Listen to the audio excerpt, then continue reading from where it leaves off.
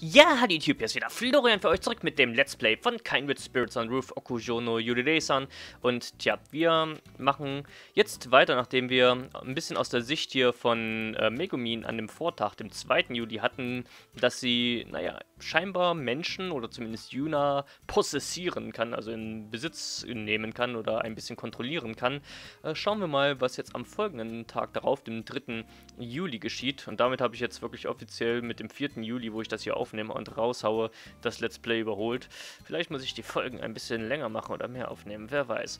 Ähm, auf jeden Fall ähm, fackeln wir mich mal nicht lange drum rum und schauen wir mal, was es mit den Sommerlilien Teil 2 hier, diesmal aus der Sicht von Yuna wieder am folgenden Tag darauf, äh, so auf sich hat.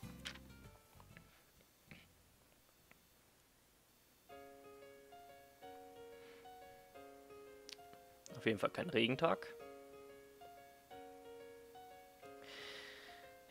Der Juli hat angefangen und die Regenzeit ist bald vorbei.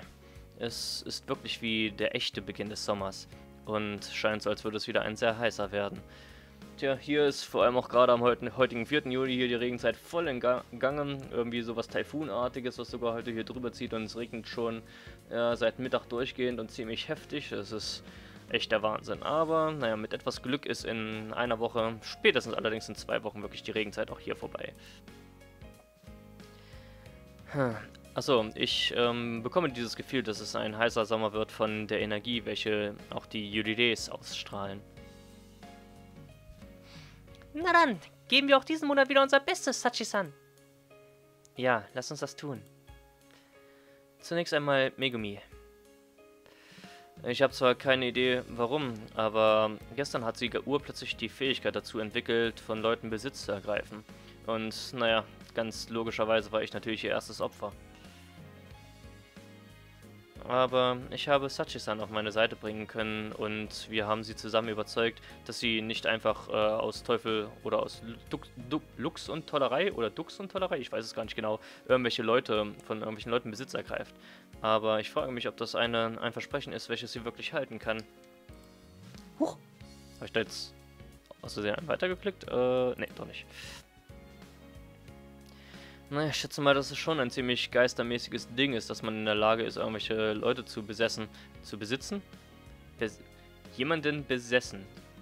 Von jemandem Besitz zu ergreifen, dass es ein ziemlich geist geistliches Ding ist, geistiges Ding ist. Irgendwie ist das im Deutschen sehr komisch zu formulieren, weil man irgendwie so jemanden man sagt jemand besessen, oder? Ich weiß gar nicht, wie die Grammatik von dem, von dem Verb besessen funktioniert. Müsste ich mir echt nochmal durchlesen. Ähm, naja, aber dadurch, dass sie urplötzlich eine neue Fähigkeit erlangt hat, scheint sie vor Energie geradezu zu strotzen. Und so begann unser typisches Mittagsessens-Meeting. Hm, also sind Maki-san und Aihara Senpai in letzter Zeit nicht zu ihrem Versteck gegangen. Ja, letzte Woche habe ich sie dort kein einziges Mal gesehen. Es könnte aber natürlich auch nur Zufall gewesen sein. Ich wette, irgendwas ist passiert. Eine Woche, hä? Hm, Sachi-san meinte, dass sie bis jetzt irgendwie mindestens dreimal die Woche oder so, oder im Schnitt dreimal die Woche dahin gegangen sind. Naja, könnte sein, dass sie letzte Woche einfach nur ein bisschen mh, hm, beschäftigt waren. Hm? Ich möchte hören, worüber sie gesprochen haben. Oder, ja, worüber sie sprechen, jetzt wo ich in der Lage bin, ins innere Gebäude hineinzugehen. Aber du kannst doch nur dahin gelangen, indem du von jemandem Besitz ergreifst, nicht wahr? Und naja, was willst du dann tun? Dafür sorgen, dass ich äh, den beiden hinterher spioniere? Ah, stimmt ja. Ja, das ist ziemlich unpraktisch, ha? Aber mehr als genug, oder etwa nicht? Maki-chan und Miki-chan arbeiten immer noch zusammen nach der Schule jeden Tag. Das hat sich nicht verändert. Aber irgendwas zwischen den beiden ist anders. Hm, ist es das? Ja, sie sind beide naja, es scheint vor allen Dingen Maki-chan zu sein, um genau zu sein. Irgendwie gegenüber Miki-chan sehr reserviert, zurückhaltend. Scheint so, als würde sie versuchen, ein bisschen Distanz zu bewahren. Vielleicht ist tatsächlich irgendetwas geschehen. Hm, könnte sein. Das sollten wir uns mal näher anschauen. Ja. Hm, aber sollten wir Ayada Sanbei deswegen fragen? Oder eventuell Hina fragen, wie es Maki-san in letzter Zeit so geht. wo wir gerade von Distanz sprechen. Dasselbe könnte man von Tsukuyo-sensei und Kili-chan sagen. Die beiden könnten sogar noch ein noch größeres Problem darstellen. Ha. Huh. Sono-sensei und Tsurugumine-san. Nach unserem Fangenspiel, den anderen äh, neulich, waren wir letztendlich in der Lage, dass die beiden irgendwie miteinander sprechen, aber... Oder haben wir es geschafft, dass die beiden endlich miteinander sprechen. Das war so ein schreckliches Ding, was Sono-chan gesagt hat. Wie konnte sie nur? Ja, es tut mir echt schon ein bisschen leid für Kili-chan. Die beiden Yurides, welche die gesamte Unterhaltung zwischen Sono Sensei und Tsurugumine-san angehört hatten, waren offenbar ziemlich sauer auf Sono Sensei. Ja, aber ich meine, ähm, das ist nur realistisch, dass eine Lehrerin ähm, ja, eben sich normalerweise oder ein Lehrer, eine Lehrerin sich nicht mit einem Schüler oder einer Schülerin einlassen sollte aus offensichtlichen Gründen der potenziellen Bevorzugung einer Beziehung zwischen einem Erwachsenen und einem Minderjährigen und ähm, ja, gesetzliche Regelungen und keine Ahnung was. Deswegen eigentlich nur logisch. Und zumal die beiden Geister hier aus Zeiten kommen, wo da die Regelungen wahrscheinlich noch viel, viel strenger waren. Okay, das regt aber Megumi auf. Das kann ich durchaus verstehen. Wie konnte sie einfach so entscheiden für äh, Tsurugumine-san, dass das Ganze nur ein Missverständnis sein soll? Will sie etwa Kitty-sans Liebesgeständnis einfach so zur Seite schieben? Tsurugumine-san hat offensichtlich Sono-sensei die Liebe gestanden. Aber Sono-sensei hat darauf reagiert, indem sie sie darauf hinwies, dass das Ganze nur ein Missverständnis sei. Und dass selbst wenn sie jetzt so empfindet, ihre Gefühle sich in der Zukunft sehr wahrscheinlich ändern werden. Und Sachi-san und Megumi wollten jene Worte nicht vergeben. Hm. Ich denke aber nicht, dass Sono-Senseis Worte unbedingt falsch sein sollten, könnten. Oh, doppelte Verneinung im Deutschen. Aber ich glaube, Sono-Senseis Worte haben eventuell schon ein kleines Stückchen Wahrheit in sich. Ja, vielleicht schon, aber trotzdem. Vor allem Megumi. Sie hat Sono-Senseis Worte noch viel unvergeblicher gefunden, da... Achso, da sie in dem Mathezimmer mit den beiden war und das Gespräch direkt gehört hatte. Statt dass Ikiri-san eine Antwort oder irgendeine Reaktion auf die ähm, auf das Liebesgeständnis gibt, sagt sie all dieses selbstverliebte Zeug und ja, weicht dem Ganzen einfach nur aus. Das ist so dasselbe, als würde sie Kili-sans Gefühle komplett ignorieren, oder etwa nicht? Ja, da hast du recht. Sachi-sans scheint ebenfalls sehr wütend zu sein, allerdings auf ihre etwas sehr stille und ruhige Art und Weise. Normalerweise versucht sie Megumi ein bisschen an die Zügel zu nehmen, wenn sie zu über, ähm, überschwänglich oder zu überemotional reagiert. Sachi-san, du hast doch mal gesagt, dass es dir nicht wirklich ausmacht oder es dir im Prinzip egal ist, zu welchen Antworten oder, oder Enden die Pärchen kommen oder etwa nicht. Hm, das stimmt schon, aber auch ich möchte, dass es irgendwie gut läuft zwischen den Personen. Und wie Megumin sagte, ich glaube nicht, dass Tsukuyo-sensei eine echte Antwort bis jetzt gegeben hat. Wenn sie Kidi-chan nicht als einen möglichen romantischen Partner ansieht, dann hätte ich es gerne, dass sie das so auch direkt sagt. Wenn sie niemals in der Lage sein könnte, Kidi-chan zu lieben, dann sollte sie das auch sagen. Sie sollte ihre eigenen Gefühle Kili-chan ganz klar und offen darlegen, bevor sie umgekehrt Kili-chans Gefühle einfach so zur Seite schiebt oder ähm, dagegen argumentiert. Huh. Und Sono-chan Sono-chan ist besonders nervig, wenn es um dieses ganze Nenn mich Sensei-Ding mit Kili-san jetzt geht. Ach, Kili-san hat das alles doch nicht verdient. Naja, es ist sehr wahrscheinlich, dass das daran liegt, was Kili-chan über ihre Rolle als Lehrerin gesagt hat. Tja, so werde ich das nicht enden lassen. Wir müssen dafür sorgen, dass Sono-chan die ganzen Sachen ein bisschen klarer stellt. Ja, ich glaube auch, dass das zum Besten wäre. Hm, glaubst du das? Natürlich glauben wir das. Ich bin mir sicher, dass Sono-chan Kili-san nicht hasst. Ja, und ich glaube auch, dass Kili-chans Gefühle nicht so etwas wie ein Missverständnis oder so seien. Und ich möchte gerne, dass die Lehrerin das auch begreift. Ich werde aber mich nicht nur zufrieden damit geben, dass wir sie realisieren lassen, wie ernst das Kili-san mit der ganzen Sache ist. Wir werden dafür sorgen, dass sie sich in Kili-san verliebt, während wir schon dabei sind. Und wie genau sollen wir das anstellen? Naja, wir müssen ihr Kili-sans äh, naja, charmante Seite zeigen oder ihre Anziehungspunkte oder was auch immer. Und wie sollen wir das anstellen? sie ist ja schon das einzige, einzige Mitglied vom Mathematikclub und Sono Sensei ist ja ihr Advisor, nicht wahr? Sollten sie sich, ja, sollten sie einander nicht schon ziemlich gut kennen?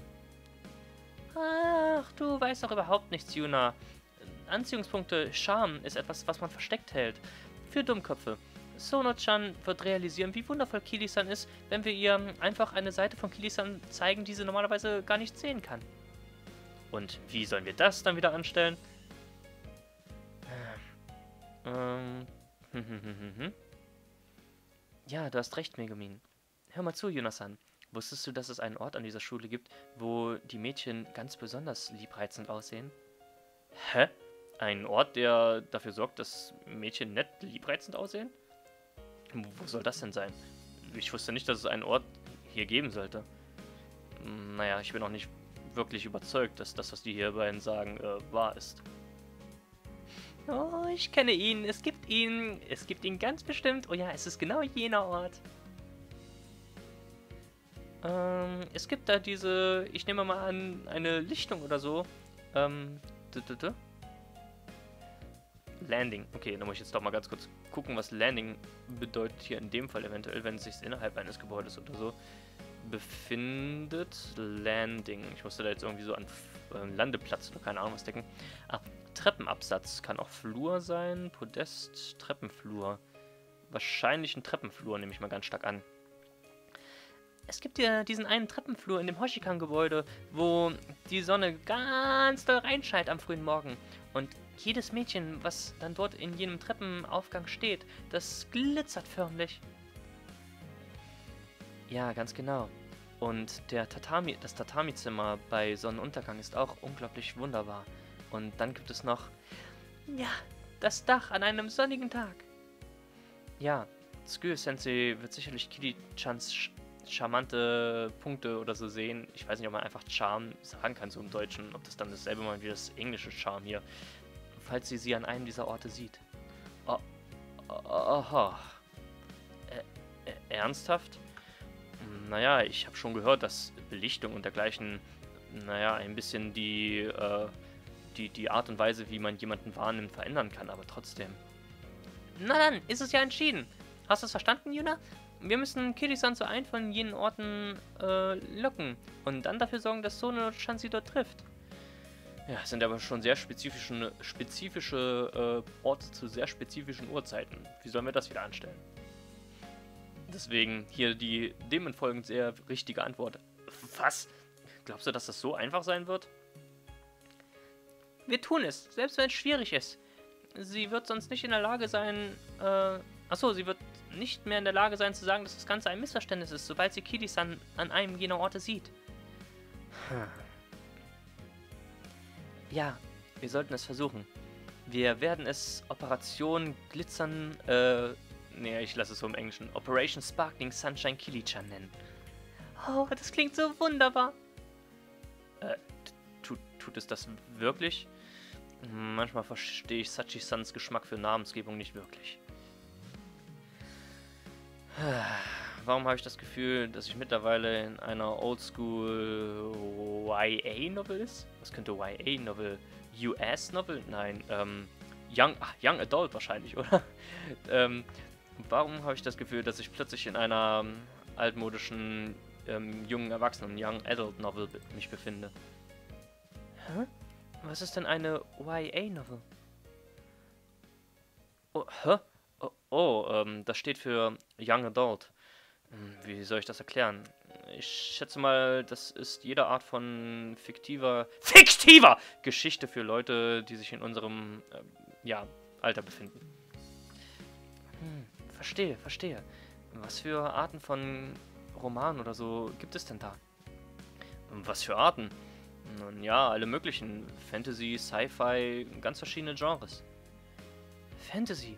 Oh, also auch sowas wie Mystery-Romane? Ja, es gibt natürlich auch Liebesromane und so weiter.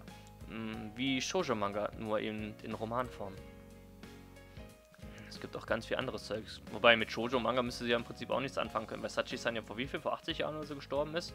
Aber ich glaube, Shoujo-Manga hatten wir ja schon mal erklärt. Und sie kann ja in die Bücherei gehen, deswegen kennt sie sich wahrscheinlich sowieso. Eigentlich müsste sie das ja eher wissen als Megumin, die ja die Bücherei lange nicht betreten konnte. Aber naja. Hm, es gibt auch eine ganze Menge an anderem Zeugs. Aber naja, ich schätze mal, wir haben jetzt nicht wirklich äh, die Not es besteht nicht wirklich die Notwendigkeit, das alles zu erklären. Ich habe ja schließlich auch nur das gelesen, was Anno mir ausgeliehen hat. Ah, das klingt sehr interessant. Eines Tages möchte ich mal so einen Roman lesen. Naja, vielleicht später. Ich habe selbst nicht allzu viele davon. Hm, hm verstehe. Ich freue mich schon darauf.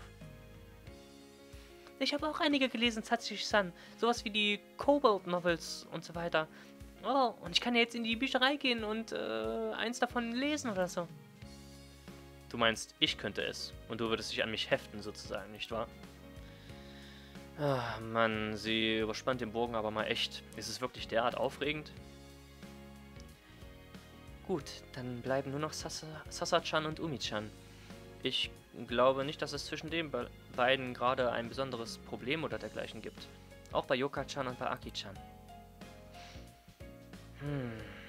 Irgendwie zu diesem Zeitpunkt kann ich irgendwie gar nicht mehr ja, als ein Problem oder auf ein Problem hinweisen, dass es sich jeweils bei dem Pärchen um zwei Mädels handelt. Das hat sich irgendwie im Laufe der Zeit erledigt. Ich war aber trotzdem sehr überrascht, als sie mir von Yoka erzählt hatten. Eine alte Klassenkameradin, die ich gerade erst wieder getroffen hatte. Und es war so, als hätte ich sie von ganz neuem oder zum ersten Mal in meinem Leben getroffen. Ich war überrascht, wie sehr sie sich verändert hatte. Sie hat mir ihre Liebesrock-Lyrics gezeigt oder was auch immer das war. Und die waren für sich genommen auch schon ziemlich unglaublich. Und dann später habe ich erfahren, dass sie in eine andere Frau verliebt sei. All das ganze Zeug hat sich mittlerweile, oder dem Ganzen bin ich mittlerweile schon ein bisschen, oder habe mich an das Ganze gewöhnt, wie keine Probleme? Ne, ich sehe da keine Probleme. Naja, Richtig. Wir können uns Sorgen machen, wenn irgendwas zwischen dem Pärchen oder den Paaren passiert. Also sollten wir zunächst herausfinden, was zwischen Maki-san und Aihara-senpai vor sich geht. Und danach zu Legumine-san. Operation Sparkling Sunshine. Äh, ja, genau, das. Ich, ähm... Ja, was das angeht, werde ich mir irgendwie was ausdenken. Naja, ich schätze mal, es wird dann auf etwas hinaus, hinauslaufen, was davon abhängt, dass wir sie zu, dass wir beide gleichzeitig zu der entsprechenden Location führen. Hm, naja, wir werden, können dir Bescheid sagen, wenn Sono-chan oder Kiri-san jeweils in der Nähe sind. Alles klar, okay. Ich muss, bin aber ja diejenige, die die ganze Arbeit zu verrichten hat. Ich, naja, könnte eventuell in der Lage sein, Tsuruguminis-san irgendwie auf dem Gang äh, zu stoppen und dann darauf warten, dass Sono-sensei einfach vorbeikommt schätze mal, ich weiß es nicht, solange ich es nicht einfach versuche, ob das Ganze klappen wird. Schätze mal, wir müssen einfach auf unser Glück zählen und hoffen, wenn die beiden jeweils in der Nähe sind. Oder dass sie in der Nähe sind. Mein Kopf äh, fühlt sich ganz äh, heiß an. Hm. Jetzt, wo ich über das ganze Zeugs nachdenke. Naja, die Sonne ist auch ziemlich stark hier oben mittlerweile und die Temperaturen sind schon ziemlich heiß. Oh ja, ich habe jetzt mittlerweile auch die Klimaanlage ziemlich häufig hier im Zimmer an, weil seit drei oder vier Tagen jetzt, seit wirklich der Juli begonnen hat, äh, wird es nachts hier nicht mehr unter 23, 24 Grad, also nur noch tropische Nächte, ähm, bei denen man wirklich ohne Klimaanlage an, die hier die Luft und Luftfeuchtigkeit auch irgendwie ein bisschen rausnimmt, zusätzlich zur kühlen Luft, einfach man überhaupt nicht mehr ist in der Lage zu schlafen. Und auch beim GLPT waren es ähm, 32, 33 Grad gewesen bei heftigem Sonnenschein und 90% Luftfeuchtigkeit, die dann gefühlt so wie 39, 40 Grad waren. Also das ist jetzt wirklich, wirklich sehr heftig geworden. Das ist dann so ein äh, Sommerregentag wie heute mit 30 Grad, wo es dann heftig regnet, aber wirklich so ein richtig warmer Sommerregen, äh, richtig angenehm dagegen. Deswegen Regenzeit hat in der Hinsicht auch fast was Gutes, könnte man sagen. Deswegen dann die heftige zweite Juli-Hälfte und der August, das wird noch spaßig. Naja. Ähm, genau, Temperatur auch sehr hoch. Schätze mal, der Sommer hat tatsächlich angefangen. Hm, wo ich so darüber nachdenke. die Sommerferien fangen ja auch bald an, nicht wahr? Äh, ja. Und während der Sommerferien hast du ja Summercamp. Was für ein Summercamp? Also einen Schulausflug oder so? Hm, sowas gab's ja, oder nicht? Summercamp. Die Leute werden schon sehr bald anfangen, also die äh, anderen Schüler in, in der Klasse darüber zu sprechen.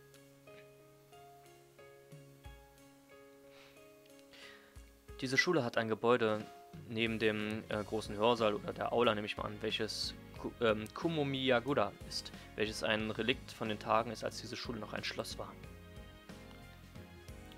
Der erste Stock, das Erdgeschoss, beinhaltet Clubräume und auf dem zweiten Stock befindet sich ein, das habe ich schon mal nachgeguckt, weil als äh, Maki-chan durch die Schule gelaufen ist, weil sie die Architektur so, li so liebt, hat sie das auch schon mal erwähnt. Ich habe es aber wieder vergessen.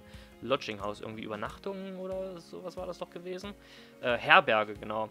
Beherbergung, Mietwohnung, Unterkunft, Wohnung, sowas in die Richtung, ja. Richtung, ja. Ähm, wobei es für äh, streng genommen nur eine Anzahl von kleinen Räumen ist, wenn man es genau betrachtet. Man kann dort wohnen oder so tatsächlich, aha, während der Sommerferien, solange man sich dazu entschließt, selbst wenn man nicht Teil eines Clubs ist. Das ist ein ziemlich berühmtes Event hier bei der Shidojo. Also sowas wie Schulübernachtung, wenn gar keine Schule ist und sich dann ähm, irgendwelche Mutproben machen, indem man durch die kaum begangenen dunklen nächtlichen Schulhallen und dergleichen geht und irgendwelche Geister oder so da rumlungern, die es hier in dem Spiel tatsächlich gibt. Fällt mir da gerade ein. Man kann hier in der Schule verbleiben, wie als wenn man bei einem Ausflug mit seinen engen Freunden oder so wäre. Letztes Jahr habe ich daran allerdings nicht teilgenommen. Wirst du bei dem Summercamp mit teilnehmen, Yunasan? Du wirst daran teilnehmen, weil es wird ganz viele Gelegenheiten geben, da herauszufinden, ob wir den derzeitigen Pärchen helfen können oder ob wir sogar noch neue Pärchen finden. Wenn du nicht hier wärst, wenn wir das Ganze während des Summercamps herausfinden, wie könnten wir dann dafür sorgen, dass die Beziehungen von den ganzen Mädchen weiter vorangehen? Deswegen, du wirst doch hier sein, oder? Weil ansonsten wird Megumin wieder so ein Gesicht machen und einige kleine Mini-Spirits um sie herumfliegen und du weißt, was das bedeutet, ne? Flüche und so weiter. nicht, dass wir das, dich wirklich verfluchen wollen. Es ist eine komplett freie Entscheidung in diesem demokratischen Land, in dem wir hier leben. Aber es wäre schon schön, wenn du in dem Summercamp bleiben würdest, nicht wahr, Yuna-san? Ähm, eigentlich hatte ich es trotzdem nicht vor, aber sobald die Sommerferien beginnen, glaube ich nicht, dass ich in äh, dass es notwendig sein wird, zur Schule zu kommen, bis der Unterricht wieder anfängt. Das Sommercamp, hä? Hm, das Rundfunktrio nimmt wahrscheinlich daran teil. Und Tsudogumine-san und Sono-sensei wegen dem Mathematikclub wahrscheinlich auch. Denkst du, ich sollte daran teilnehmen? Naja, was glaubst du denn, was ich dir gerade die ganze Zeit gesagt habe? Deswegen, wenn es dir nicht so viele Umstände macht, würdest du es? Es wäre sehr einsam, auch für uns, wenn wir dich nicht sehen könnten während der Sommerferien. Naja, ich wäre überhaupt nicht einsam mit Sachi-san, aber du wolltest etwa die ganze Zeit zu Hause bleiben, die Ferien über, Yuna? Naja, ich würde mich nicht die ganze Zeit drin verkriechen. Ich habe schon sowas wie in Real Life, weißt du? Hm, Jedoch glaube ich, man muss normalerweise sich in einer Gruppe anmelden, wenn man während des Summercamps ähm, teilnehmen möchte, wenn man keinen Club hat. Na, da weiß ich schon, welche Dreiergruppe sich da anmeldet. Anno, Hina und Yuna. Oh, muss man das? Hm, vielleicht kannst du dann äh, jemanden von deinen Freunden fragen. Jemanden wie Anno-chan oder Hina-chan. Oder am besten beide. Und dann können wir auch mehr über die Gefühle von den beiden dir gegenüber herausfinden. Oder vielleicht erwachen in dir irgendwelche Gefühle den beiden gegenüber, von denen du vorher noch nicht wusstest, dass sie existieren. Alles aufgrund der zwischenmenschlichen und nicht unterrichtsbezogenen Auseinandersetzungen und, Mensch und nächtlichen Gespräche unter Mädels, die ihr miteinander haben werdet. Hm. Naja, Hina wird allerdings mit dem Laufteam sich aufhalten und Anno, naja, wird während des gesamten Camps bei äh, einer ähm, wieso will ich Beamten sagen, bei einer, ähm, wie heißt es? Bei einem, ähm, jemand, Mitglied aus der Familie, ähm, Verwandten, genau, beim Haus einer Verwandten sich äh, aufhalten während des Camps. Außerdem wird sie wohl bei der Comic Cat mitmachen wollen. Stimmt, die ist ja auch im August und ich werde dieses Jahr nicht hingehen können, weil äh, das muss ich in einem Videolog erzählen. Ähm, ähm, genau, bei der Comic Cat mitmachen. Sie hat irgendwie sowas gesagt von wegen, dieses Jahr werden wir auf eine Expedition wieder gehen oder so. Ja, und andere Freunde hast du ja nicht. Bäh, bäh. Tja, als ob dich das, das angeht oder du dir darum Sorgen machen würdest. Huh, Line-Nachricht. Muss ich gleich mal lesen. Ach ja, da muss fällt mir eigentlich mal noch jemand mal Line schreiben. Jetzt lasse ich mich hier von allen anderen Dingen, Dingen ablenken. Ähm. Ach, was geht dich das denn an? Hm. Naja, selbst wenn ich nicht übernachten kann, denke ich mal schon, dass ich trotzdem tagsüber zur Schule kommen könnte, zumindest. Vielleicht einfach nur, um Hina Snacks vorbeizubringen während des Camps. Naja, das ist so ziemlich alles, was mir da gerade einfällt. Ja, du musst dich aber unseretwegen jetzt nicht unendlich viel anstrengen. Naja, wäre schon schön, wenn du es machst, weil du weißt, was dir sonst bleiben würde, ne? Wir würden uns nämlich sehr über deine Besuche freunden. freuen, natürlich. Ja, schon klar. Vielleicht bin ich in der Lage, ein paar Mal vorbeizukommen. Vergiss auch nicht, uns ein bisschen was mitzubringen. Ja, ja. Tja, das war also mal wieder ein ganz langes Status-Update von den einzelnen, äh, ja, von den einzelnen Pärchen jetzt hier zum Juli hin. Sommerferien starten bald. Was heißt bald? Dann Mitte Juli, Ende Juli oder so, also noch im Laufe des Monats, Ende des Monats. Dann hätten wir ja zumindest noch ein paar Wochen Schule, trotz alledem. Gut, dann speichern wir mal drüber. Und da ich jetzt gerade Nachrichten bekomme, Sprung auf den 9. Juli. Dann hole ich das, äh, hole ich die tatsächliche Zeit ja doch wieder ein. Aber wenn dann die ganzen Nebenstories kommen, die hier wieder sich unter die Woche alle mogeln, dann wird es Ende des Monats wieder sehr knapp werden. Aber nun gut, dann würde ich sagen, an dieser Stelle hier machen wir dann mal einen kleinen Schnitt. Schauen wir mal, was wir dann eine Woche später Neues erfahren. Dann scheint ja diese Woche nicht allzu viel von den Plänen geklappt zu haben, herauszufinden, was mit Maki-chan und sonst wem und so weiter ist. Ähm, geht mit Jona direkt wieder weiter. Bekommen wir da ein neues Status-Update oder so? Wer weiß. Auf jeden Fall, dann sage ich an dieser Stelle hier erst einmal Matane. Bis zum nächsten Mal und gucke ich mal, was ich gerade für Liebesbotschaften meinerseits auf Line bekommen habe. Mhm. Ähm, nein, falls jetzt irgendjemand fragt, äh, es war wirklich ein Scherz. okay, und damit wirklich Matane. Bis zum nächsten Mal. Tschüss.